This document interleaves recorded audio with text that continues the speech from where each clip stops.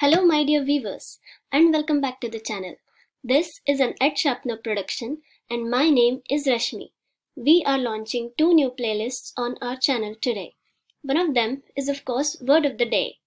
Today's word is abattoir. It's a French origin word, which is why it is mostly used only in British English. Its plural is abattoirs. It means a slaughterhouse.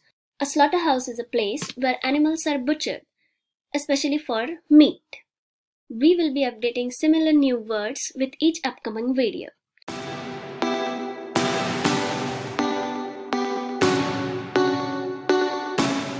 Our next playlist is Verbal Ability in the General Aptitude section of English Grammar. I'm beginning with the parts of speech, which is the basic of English grammar. We all know that there are eight parts of speech.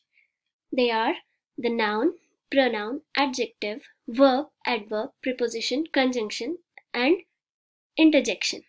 In this video, we talk about the noun. The noun is a naming word. It is the name of a person, a place, an animal, or a thing. Now let us look at the kinds of nouns. There are five kinds of nouns. They are proper noun, common noun, abstract noun, collective noun, and material noun. Now let us look at these in detail. A proper noun. They are the names of particular persons, places, or animals. Okay, now let us look at some examples of what a particular name is. For example, if it is a person, they have a particular name like John, Arjun, Deepika, etc. Right? For places like London, New Delhi, etc. And pets. Not all animals have names, but pets have names. Then they can be thought of as particular nouns like Tom Cat and Jerry Mouse, etc. Okay, the next type is a common noun. The names common to a certain class of persons, places, animals, or things are called as common noun. For example, a boy, girl, man, woman. They are types of person. For places, the places can be big like a city or a river, a mountain, a mountain range or a village, etc. Or animals and things. These types of nouns which define a certain class of persons, places, animals or things are called common nouns. The next one is an abstract noun. The word abstract itself means something which does not have a physical or concrete existence. That something exists as an idea or a quality, a state, a condition, etc. This type of nouns cannot be seen or touched, they can only be felt. For example, you cannot see or touch honesty, but you just know that a certain person is honest or not. State of mind like happiness, gloom, panic are also abstract nouns. Some conditions like childhood, adulthood, disease are also abstract nouns.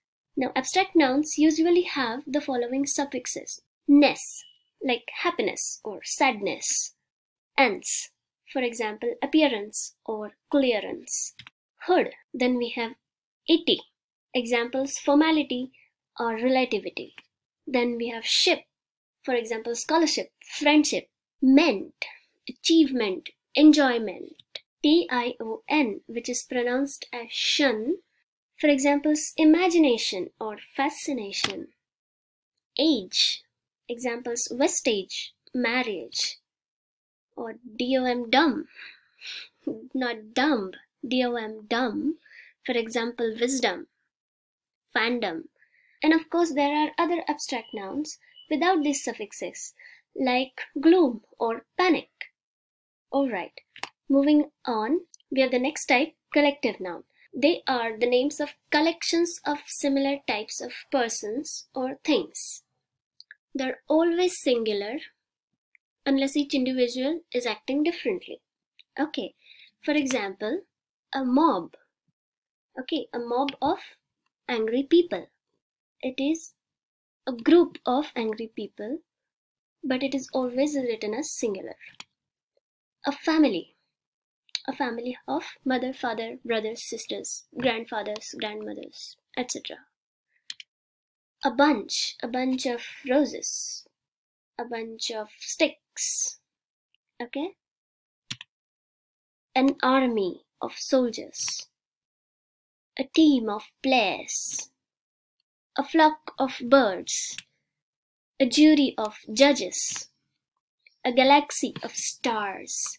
See, all of these nouns are a group of something, yet they are used as a singular. Moving on to the next topic, we have material noun, the fifth type of noun. These are the names of materials or substances out of which things are made.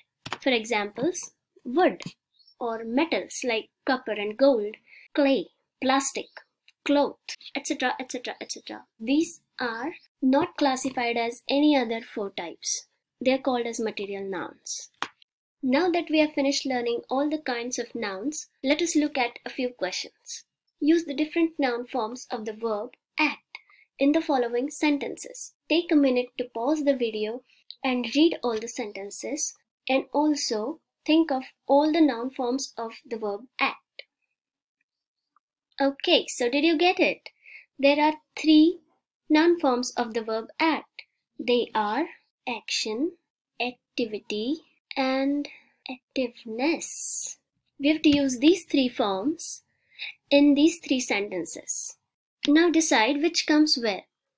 Now looking at the sentences, action comes in the first sentence. Taking strict action against the criminals is a must.